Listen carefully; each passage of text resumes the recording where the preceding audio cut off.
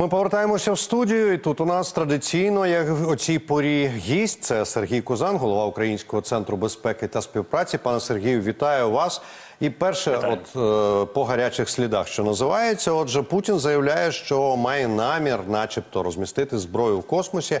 Це не буквально, наскільки я розумію, зброя для ядерного удару. Це зброя, яка за допомогою ядерного вибуху генерує електромагнітний імпульс, який впливає на супутники, наприклад, на навколоземній орбіті.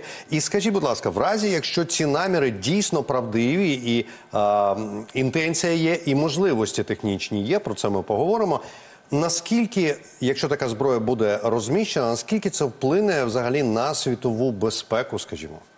Якби е, сталося Якби. все Так. е, те, про що говорять власне представники Пентагону, то вплине кардинально, тому що е, Сполучені Штати е, вони мають свою перевагу, власне кажучи, завдяки космічним технологіям. Тобто, ось ця вся мережа супутників, е, яка курсує навколо е, навколо Землі, вона надає от інформацію е, і, власне кажучи, забезпечує комунікацію. Тобто, фактично, ось всі ці новітні технології тримаються на системі супутників. Про що говорять нам сьогодні американські партнери? Е, Чим загрожує Росія? Е, Росія всьому світу, фактично вона е, загрожує не класичною війною в космосі. Для цього в неї однозначно немає сил. Вона загрожує космічною диверсією. Тобто, умовно кажучи, вивести ядерний заряд, до речі, з ну невстановленою кількістю уламків на орбіту, і там його просто-напросто підірвати. Тобто, таким чином, і завдяки цьому вибуху, і завдяки уламкам, які будуть розсічені, фактично ну відбудеться таке значне пошкодження всіх супутників, які знаходяться поблизу. А Про- це, а це і цивільні супутники зв'язку, Абсолютно, інтернет, абсолютно мобільний всі. зв'язок і е, воєнні військові супутники, які збирають інформацію. Так Е, Безперечно, і більше того, це ж не лише американські, приміром, вони пошкодять, а китайські ні. Е, тобто ми ж Ну, звісно, розуміємо, звісно. що електромагнітний імпульс на всі Саме впливає, так, саме так. І електромагнітний імпульс, і також уламки. Ось що важливо. І їх не прибереш. Тобто вони здатні накопичити. Вивели з ладу супутник, і фактично він стає вже новим уламком, який буде ну вже не по е, передбачуваній траєкторії рухатися. Отже, і це зашкодить абсолютно всім, в тому числі для прикладу і китайцям. Тому є великі сумніви в тому, що росіяни наважаться реалізувати такі свої погрози, ну як і в принципі свої ядерні е, погрози. Ну, в, при, е, в принципі, реакція світової спільноти переважно негативна, і це зрозуміло. А якщо говорити про якісь, не знаю, політичні кроки, що взагалі можна зробити з цим? Е, Ну, безперечно, потрібно в першу чергу прирівняти застосування, е, тобто виведення ядерної зброї на орбіту, як е, ну до застосування ядерної зброї. Тобто немає абсолютно жодної різниці, чи Росія вдарить ракетою На землі по, чи на землі, космосі, чи по, по тим самим фактично по, ем, по власності тих чи інших країн. Тобто, це буде передбачати, звичайно ж, удар по цим країнам. Тому це од... е, ну тут можна було порівняти, якби вона ядерним зарядом вдарила, приміром, по літаку е, однієї чи іншої країни в небі. Тобто, формально, звичайно, це не на землі, але це так само ядерний удар. Ви вжили дуже, на мій погляд, влучний термін. Ви сказали диверсія. І скажіть, будь ласка, чи може бути от така активність чи такі наміри Росії якимось чином прив'язані до того, що зараз, ну, наприклад, у Сполучених Штатах іде ведеться дискусія про те, що Росію можна оголосити, можна чи не можна, чи слід оголосити спонсоркою тероризму? А чи, чи може бути може бути, можуть бути такі наміри Росії прив'язані до того, щоб взагалі оголосити її країною терористкою? Ну це Що було б- ми добре знаємо. Абсолютно, абсолютно, і це було б абсолютно логічно. І тим більше ну подивімося на е, власне на розвиток подій. Тобто це політичні вбивства, які е, вона здійснює, в тому числі вбивство, ну фактично такого символу опозиції для заходу. Звичайно, Ну, не так, для так, нас, так, але для заходу. Олексій Навальний це є символ е, взагалі опозиційного руху. І те, що його було вбито, ну це немає сумнівів, що його це молодий чоловік. Його просто було закатовано в е, тюрмі. Е, ну це означає, що е, життя саме цього політв'язня воно знаходиться повністю у підпорядкуванні російської влади і персонально на відповідальності Владіміра Так, Путіна. безумовно.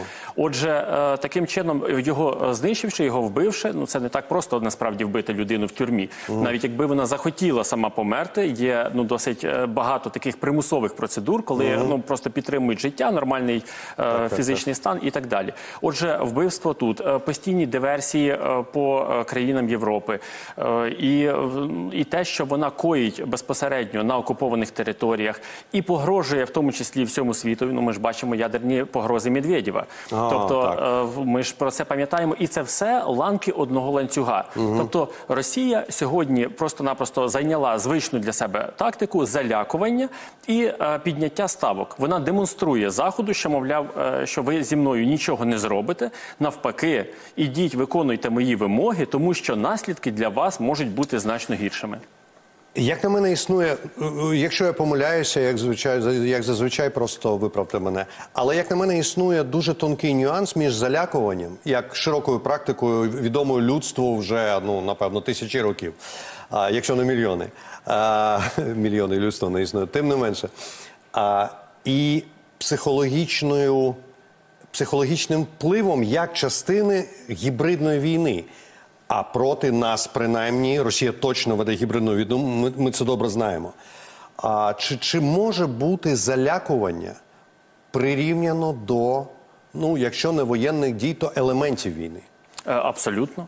І до речі, е, також все більше США визнають е, про, про гібридну війну, США розуміють. Саме так, і більше того, і країни НАТО також. І ще на минулому саміті НАТО Так. вони вже фактично ну, зробили перші кроки, тобто Так, так, оголосили, так, що кіберпростір, взагалі, от інформаційно-психологічний вплив це територія окремих воєнних дій. Тобто не секрет, що війни в сучасному світі відбуваються не за якісь шматки, не за території, а Ну так. в першу чергу за розуми людей. І от зруйнувати, умовно кажучи, е, будь-яку націю, народ е, противника, е, вплинути на них так, щоб цей народ втратив можливість протистояти, втратив ба- бажання, волю до перемоги. Умовно кажучи, в армії називається таке мор- морально-психологічне морально, так, забезпечення. там. От зруйнувати саме цю е, мораль в американській армії є такий бойовий дух, морал. Е, Ось це, власне кажучи, і є об'єктом будь-яких кампаній е, з інформаційно-психологічного впливу. І, до речі, їхній наступ е, в Авдіївці супроводжувався потужними от такими кампаніями, коли ну, відбувалися злами і сайтів, провідних медіа, і також розповсюджувалися фейкові панічні новини про те, що мовляв росіяни все захопили, перемогли, і точно. чинити будь-який спротив Ну немає точно, сенсу. абсолютно. І треба ну справедливості заради е, сказати, що іноді ми бачили, як це насправді впливає. Ну, люди різні. Хтось має резистентність, хтось не має. І деякі люди, я, я не, не кажу зараз про бійців, я кажу про цивільних. Тому що панічні оці настрої, про які ви сказали, це видно було у соцмережах. В певні дні, в певні години вони просто ну лавиноподібно ширилися. А стосовно Авдіївки, окупанти змогли розпочати наступальні операції одразу на кількох ділянках фронту. А про це зазначає у звіті інститут вивчення війни американський. А, де нам потрібно, на вашу думку, зосередити нашу увагу і ресурси? Ну, наше командування чудово розуміє е, саму тактику росіян. Е, Тут немає нічого нового. Вони накопичили максимум сил сьогодні на власне на окупованих територіях і сконцентрували е, свій тиск фактично про по всій східній ділянці фронту. От якщо ми подивимося від Куп'янська і аж вниз до Вугледара, аж до Запорізького напрямку, то побачимо, що скрізь вони тиснуть, і умовно кажучи, таких стандартних е, п'ять е, напрямків. Ну це знову ж таки це е, варіюється. Але подивимося на Куп'янськ. е, Є е, не припиняється тиск. Лиман е, продовжується Лиманський напрямок. Е, В районі Бахмута е, також продовжується тиск. Там взагалі по трьох напрямках, і саме на часів яр росіяни намагаються вийти. Мар'їнка зрозуміло, що іде, іде постійний тиск. Тобто, якщо ми подивимося на південь, то там є два завдання: це зрізати, от власне наші плацдарми в районі Роботиного і ось на лівому березі Кринки. Так от навколо цих завдань і будуть концентруватися зусилля ворога. Тому про всі ці е, плани ворога наше командування дуже добре знає. Але найголовніше те, от ми подивимося на Авдіївку, що е, саме завдяки успішно виконаній оборонній операції, яка тривала понад 4 місяці, фактично вдалося сточити е, найбільш таке забезпечене угрупування сил. Тому що я нагадаю, що ще в жовтні місяці росіяни за рік, весь за минулий рік, 23-й, вони накопичили там найзначніші наймощніший ударний кулак. Я маю на увазі саме по важкій броньованій техніці. І зараз на решті ділянок, зокрема і на півдні, вони змушені рухатися такими піхотними підрозділами, е, ну, тому що, власне кажучи, добре попрацювали наші оборонці Авдіївки. На вашу думку, які стратегічні цілі можуть переслідувати ворожі, ворожі сили? Ціль їхня не змінилася. Це вихід до е, меж Донецької і Луганської області. От уявімо, е, досі вони не можуть похвалитися, що вони повністю вийшли на адмінмежі Луганської області. Так, дійсно, це є символічно кілька сіл. Е, вони нічого глобально не вирішують на, на мапі протистояння, але все ж таки Але росіяни психологічно для психологічно для Путіна, саме для того, щоб він зробив політичну заяву, вони не можуть окупувати повністю навіть Луганську область одну. Е, Можливо, це станеться завтра. Тобто для нас це нічого не змінить. Але саме на сьогодні, е, от на піку своїх наступальних можливостей, а росіяни зараз знаходяться і будуть іще найближчі півтора місяці знаходитись на піку своїх наступальних можливостей. От Путін не може похвалитися тим, що він взяв бодай одну українську область.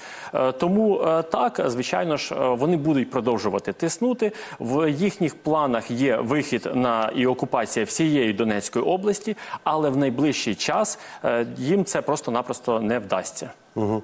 Донецька область, Луганська область, але ж у свою конституцію вони, так би мовити, включили собі, взяли, включили ще і Херсонську область, так і Запорізьку. І Херсонську, і Чи буде на вашу думку тривати операція спроби по захопленню повністю Херсонської і Запорізької областей?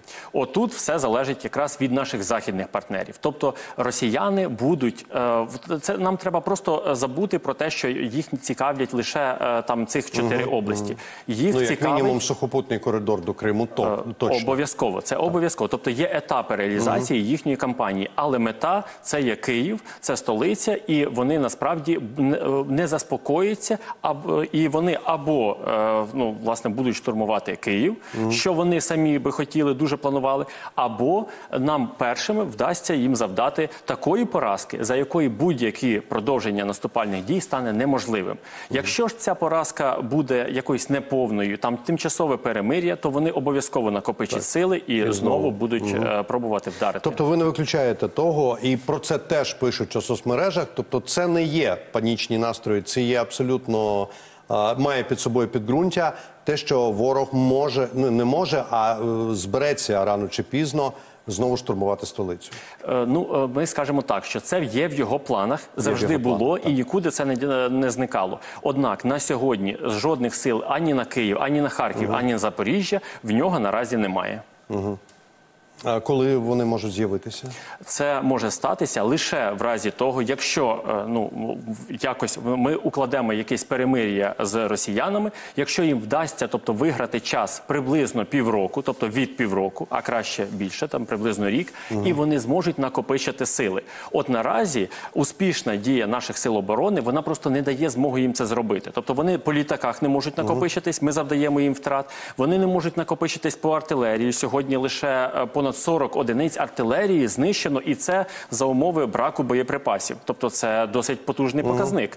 Вони по людях не можуть накопичити угрупування. Ну от вони відмобілізували тисячу осіб. Ми більше тисячі лише за один день е, знищили. Тобто вони не можуть е, за цього темпу, який ми задаємо у війні, вони не можуть накопичити сили для того, щоб сформувати, хоч е, ну, хоч якесь значуще угрупування для хоч одного великого обласного центру України. Ну а наші темпи відповідно залежать здебільшого від західної допомоги, адже ми розуміємо, Саме що так. снарядна дієта зараз є. Стосовно допомоги, чи отримаємо ми, на вашу думку, пакети? Я, я навіть вже не знаю від кого. Від Європи, від Сполучених Штатів. Яка допомога нам може прийти найближчим часом? Е, варто Допомога прийде, але на жаль, е, ось ці е, півтора місяці саме через брак західної допомоги вони стануть для нас дуже і дуже складними. Тобто нам потрібно приготуватися до таких тяжких звісток з фронту. Ну тому що не секрет, що наша артилерія ну отримує дані розвідки, і наша розвідка чудово працює. Вона повідомляє якраз про місця, про координати об'єктів, мішеней. Але е, ну, зокрема, наша артилерія і ствольна, і реактивна змушена сьогодні обирати е, ну, пріоритетні мішені саме через отой снарядний голод, який і досі є. І тут е, ну немає секрету. Тут або воює дальня зброя, артилерія на далекій відстані, або змушена воювати піхота. Тобто, але в будь-якому разі ми будемо звичайно ж воювати з росіянами, і все одно в будь-якому разі завдаємо їм значущих ударів. Ті вдалі дронові удари, які завдає е, Україна по ворожій території, по важливим об'єктам на ворожій території, наскільки вони ефективні в плані а, від е, репел, від Відтермінування відтермінування, від, від, відтиснення ворогу? Е, дуже ефективні, і е, якраз оцими е, такими штучними, але влучними ударами, ну ми фактично продемонстрували всьому світу, як повинні працювати санкції Росії, тому що в Росії, як виявилося, насправді не так і багато об'єктів, яких вона може захистити якісною системою протиповітряної оборони, і нам потрібно отримати змогу діставати до таких об'єктів. Тобто, ми бачимо, що південь це Чорне море, Новоросійськ і прилеглі порти. Оце, власне кажучи, є морськими воротами е, Російської Федерації на півдні, і на півночі, ось власне згадувана е, Ленінградська область, там порту Слуга і, е, і прилеглі інфраструктурні об'єкти. От, власне кажучи, це ці два ці дві території з ну чисельними там десятки об'єктів повинні стати, повинні піддаватися регулярним ударам. Плюс іще всередині Росії, в глибині, тобто на відстані від 500 до 1500 кілометрів, там ну, до 900 хо- хоча би ми повинні мати змогу вражати е, всі їхні е, нафтопереробні е, заводи протягом як мінімум півтора-два місяці. І тільки тоді можна буде от е, на фронті підрозділи почнуть відчувати вже власне брак із забезпеченням, і снарядами, і паливом, і такими рештам. А от саме велике угрупування воно споживає велику кількість ресурсів на відміну від меншої мобільнішої армії. І тому, звичайно, що можна просто-напросто ну позбавити цього забезпечити ви- е, забезпечення великого групування сил, яке стане просто-напросто неповоротким на фронті. Ну тобто війна проти ресурсів, умовно кажучи, те сам, та сама війна, тому що без ресурсів важливих армія Саме нічого так. не може зробити. А чому я поставив це запитання? Тому що ми знаємо, що нам обіцяно і вже дещо надходить, е, надходить з заходу в дроновій, скажімо так, сфері. Ми бачили, що були досягнуті домовленості про постачання дронів навіть зі штучним інтелектом. Британія зараз розробляє, начебто, правда, невідомо скільки розробка ще е, знадобиться часу на неї. Але, наприклад, я особисто напередодні у соцмережах бачив фотографії британського дрону Банші, реактивного дрона, який має е, дальність, здається, 100 кілометрів. А чи, чи варто нам чекати дронових поставок е, насамперед, чи нам важливіші, от, скажімо так, традиційні поставки амуніції для артилерії? До речі, е, Петр Павел, чеський президент, сказав, що начебто знайшла Чехія до 800 тисяч. так, так, так, 300 натівського Мгм, так, і так, і 500 ой, 500 е, натівського, 500 тисяч і Так. 300 тисяч е, 122 радянського 122 міліметри, калібру. Е, Так, ви праві, але справа в тому, що немає сьогодні чудо зброї, тобто не можна одними дронами виграти війну. От кожна е, кожен етап війни, кожна ділянка фронту. А ми розуміємо, що ну власне кажучи, що вся оця територія там на тисячу кілометрів, 900 тисяч півтори тисячі кілометрів, це все місце ведення бойових дій. От так само, як росіяни прострілюють ракетами всю нашу територію, от так само ми повинні досягати на аналогічну відстань е, по всім їхнім військовим і е, власне критичним об'єктам. І тільки тоді, в такому разі, можна говорити про перемогу у цій війні. Тобто, якщо на фронті нам потрібна артилерія, е, то е, е, ствольна артилерія, далі далекобійна артилерія, потім е, потрібні нам, звичайно ж, далекобійні ракети, е, які би змогли осліпити їхню систему ППО. ППО, тобто вдарити по ну харми, я маю на увазі, і, е, то- і, і, і того ж типу, які могли би осліпити їхню систему ППО, вдарити ракетами по найбільших е, по найбільш захищених об'єктах, тому що дрони все ж таки не е, усувають е, оці бункери. Безумовно. І, а далі вже можна системно наносити удари по менш захищених об'єктам, так, так як військова техніка, або ж ну власне склади із спально-мастильними матеріалами.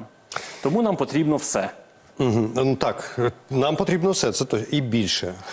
Якомога більше, більше. Е, Скажіть, будь ласка, от ви як е, воєнний експерт, військовий експерт, е, яку війну зараз веде Росія? Так, вона іноді, як ми бачимо, іноді досягає певних успіхів. І, до речі, той умовний успіх, який вони, вони ж це продають своїм як успіх. А він там вперший з е, 2023 року відколись. Так, за 23-й і- і рік такі жодного, собі. жодного взятого міста. Так, жодного. знаєте, тобто як, це... як в тому одеському анекдоті, це у вас успіх чи не успіх? Такоє. Ну, ось це такоє, тим не менше. Е, росіяни поклали там купу техніки, купу людей, чи там осіб, напевно, не людей, вони самі їх за людей не, не тримають. І навіть була якась інформація, не знаю наскільки це правда, що, начебто, е, якийсь із генералів е, отримав сердечний цей серцевий напад, коли дізнався про втрати. Ну це таке, це, це, це все балачки. Але яку війну веде Росія? Чи здатна вона вести дійсно сучасну війну? Чи здатна вона з'являти серйозну загрозу для західної техніки, для України, для українських воїнів, які просто неймовірні? От е, ми повинні розділити це питання на два. Е, Тобто, яку війну веде Росія, це лише ту, яку вона спроможна Здатна за вести, цих е, так. здатна вести.